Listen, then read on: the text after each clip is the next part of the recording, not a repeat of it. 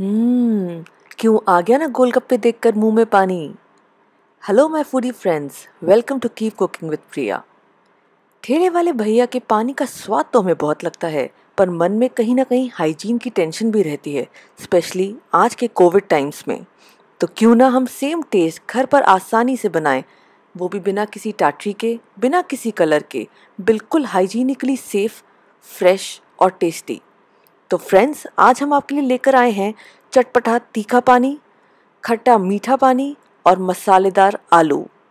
तो चलिए स्टार्ट करते हैं इसकी रेसिपी चटपटा तीखा पानी बनाने के लिए हमें चाहिए एक कप धनिया। इसकी मैंने डंडी भी ले ली है क्योंकि इसमें बहुत ज़्यादा फ्लेवर होता है। एक कप पुदीना। मैंने धनिया और पुदीना दोनों सेम क्वांटिटी में लिया है। अब हम इसमें डालेंगे दो खट्टे कच्चे आम। अगर आपके पास कच्चे आम या कैरी नहीं है तो आप अमचूर या इमली का भी यूज़ कर सकते हैं। अब मैंने इसमें डाली है छह हरी मिर्चें। आप इसे कम या ज़्यादा अपने टेस्ट के अकॉर्डिंग कर सकते हैं। अब हम इसमें डालेंगे आधी छोटी चम्मच हींग, एक छोटा चम्मच नमक,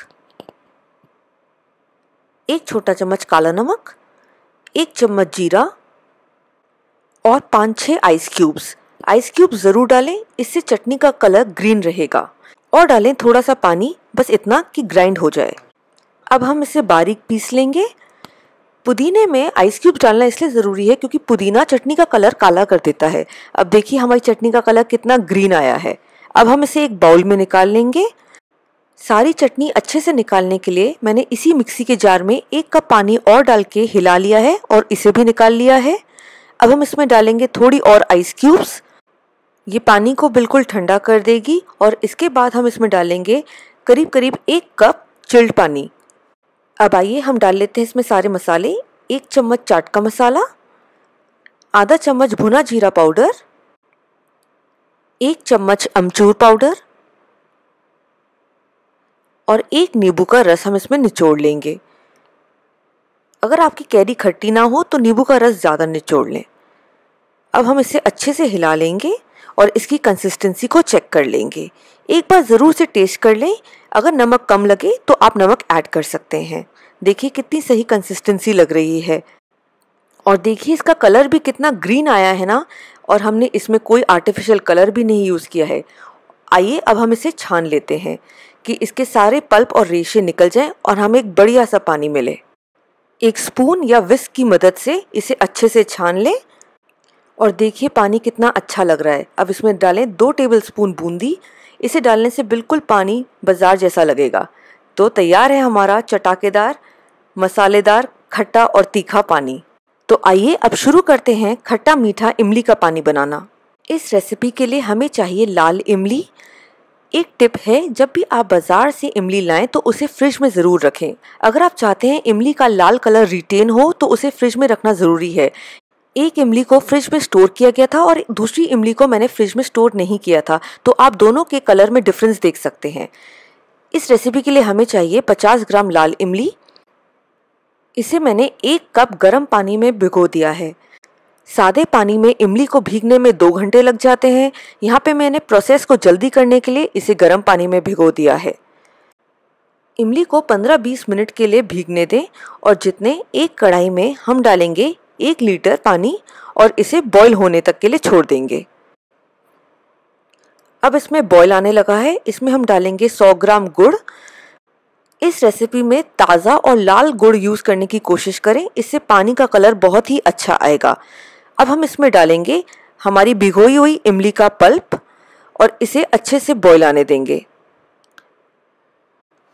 जब इसमें बॉईल आ जाए तो आप इसकी फ्लेम को मीडियम कर दें और इसे 10 मिनट तक पकने के लिए छोड़ दें। अब 10 मिनट हो चुके हैं, अब मैं इसमें डालूँगी चार टेबलस्पून चीनी, एक चम्मच सादा नमक, एक चम्मच काला नमक, एक पिंच हींग की, आधा चम्मच भुना जीरा पाउडर, आधी चम्मच सॉल्ट का पाउडर या जिंजर पाउडर, एक पिंच दालचीनी का पाउडर वन फोर टीस्पून काली मिर्च पाउडर और एक चम्मच कश्मीरी लाल मिर्च पाउडर अब इन सारे मसालों को अच्छे से मिलाएँगे। जब तक ये मसाले मिल ना जाए और देखिए कश्मीरी लाल मिर्च पाउडर से कितना अच्छा लाल कलर आया है। अब हम इसे 10 मिनट तक सिम होने के लिए छोड़ देंगे। हमने लगभग इसे 20 से 22 मिनट टोटल पकाया है और आप देखेंगे कि ये 50 परसेंट रिड्यूस हो गया है। अब हम गैस को बंद करके इसे छान लेंगे। इसमें बहुत सारे रेशे होंगे। आप चाहे सीडलेस टैमरन यूज़ करें, चाहे सीड्स वाली टैमरन यूज़ करें, इसे छान ज़रूर लें। अब इसे रूम टेम्परेचर पर आने के लिए छोड़ दें और फिर इसमें हम डालेंगे 10-12 आइस क्यूब्स और आधा लीटर चिल्ड पानी।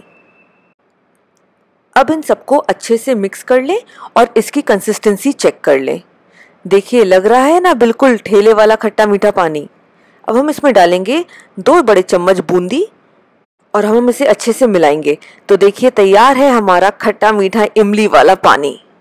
तैयार है हमारे दोनों तरीके के पानी, पर आलू के बिना सब अधूरा है। तो आइए तैयार करते हैं हमारे मसालेदार आलू। इसके लिए लिए हैं मैंने छह छोटे साइज़ के आलू।